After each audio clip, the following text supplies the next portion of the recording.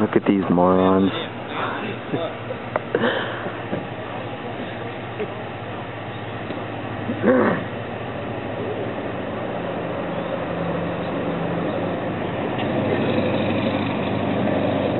Well, he's not gonna end up somewhere.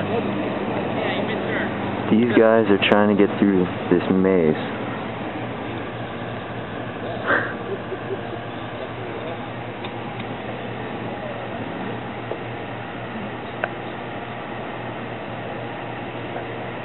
Bring your uh, PlayStation thing over.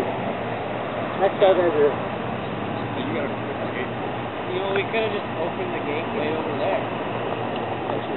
Uh,